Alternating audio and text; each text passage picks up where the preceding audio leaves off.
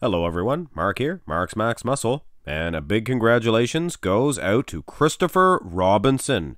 He won the overall title and picked up himself a pro card in the process at the 2020 NPC USA Championships. Just went on yesterday, actually. Just went on. So this is hot off the presses. But anyway, guys, we will in a second take a look at the overall lineup because he won his weight class and then he went on to win the overall. But everybody in the uh, overall lineup, they all picked up pro cards as well. So we'll take a look at everybody there individually. And then we will take a look at some poses from Christopher to see what type of potential this man has. But anyway, here's the lineup. And, and I'm not exactly sure of the placings here. I mean, we can assume the guys next to Christopher placed second and third. But anyway, we'll go from the left here, and that guy, that gentleman's name is Peter Burmester, and I apologize if I get the names incorrectly. I'm just being introduced to these gentlemen at this point. The next gentleman here, Mohammed Ali Alissa. Apologize again, A L I S S A. But anyway, guys, pro cards all around for them gentlemen.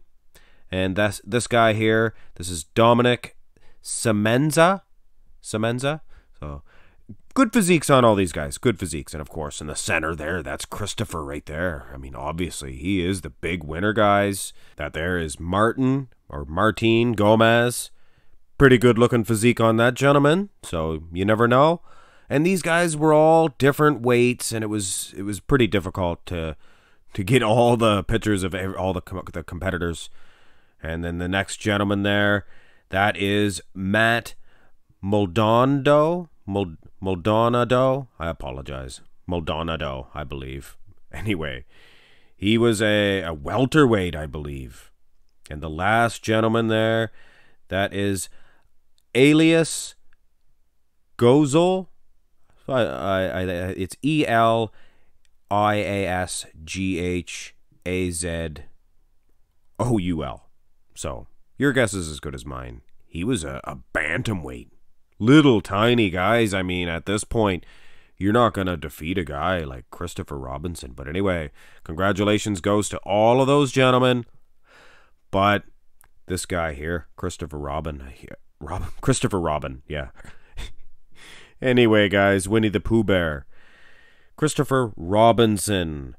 He is the overall winner, so you can expect the most potential out of this guy. And I believe he is fairly tall, being a he won the super heavyweight division, so I, I can't see him being any shorter than five foot nine.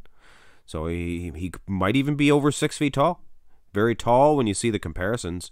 Good looking physique, good looking physique. Let's have a look at the back. Actually, a pretty good back. You know what? He dried out a little bit more, more detail in that back, and of course, put a little bit more beef on the delts, traps.